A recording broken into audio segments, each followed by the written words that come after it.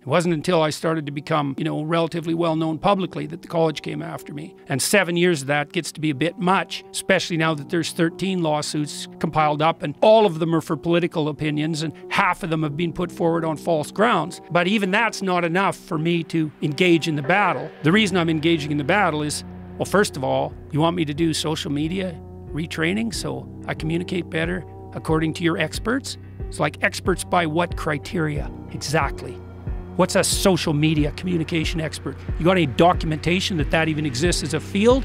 And how do you know that if you have that social media expert train me, that I'm going to be a better therapist? There's no body of data that suggests that in the least.